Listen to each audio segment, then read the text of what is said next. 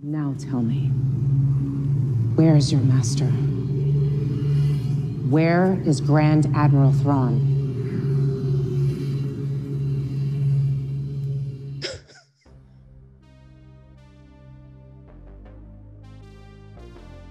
oh.